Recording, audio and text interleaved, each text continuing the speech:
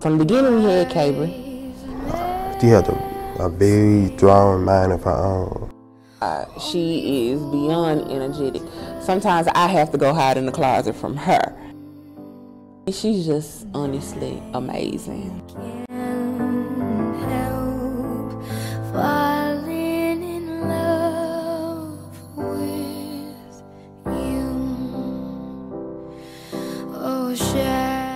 I'm the loud one.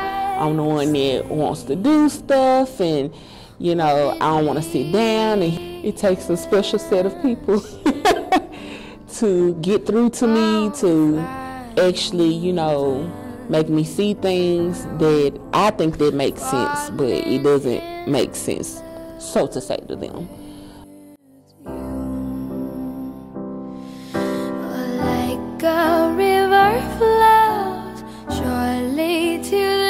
He just wants to continue to love.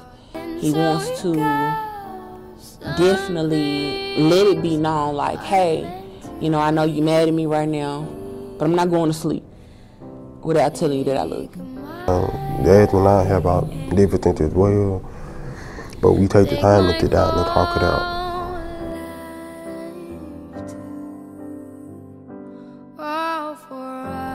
Previous to my daughter Cabry, I had lost a child before then. Being told by a doctor that I would never have kids again. But it never dawned on me that, you know, I could possibly be pregnant.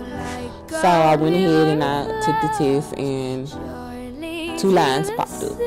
And when I realized that it wasn't okay is when, you know, things started to change for me. I get to the hospital and we find out that it was a miscarriage.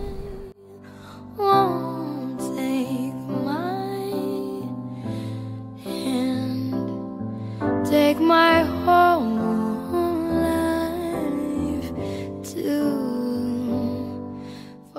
it just sank in. That it's really happening, but you know, I, I gotta trust in God. I got to, and we're going on 20 weeks.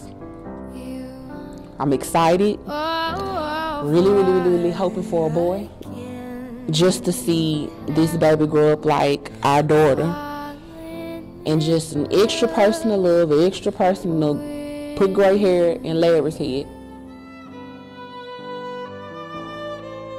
over the years, after we've had Cabry, she didn't think that she would get pregnant again. But like I told her, it was all on God's time. Just give it time, just give it time. It will come, it will come.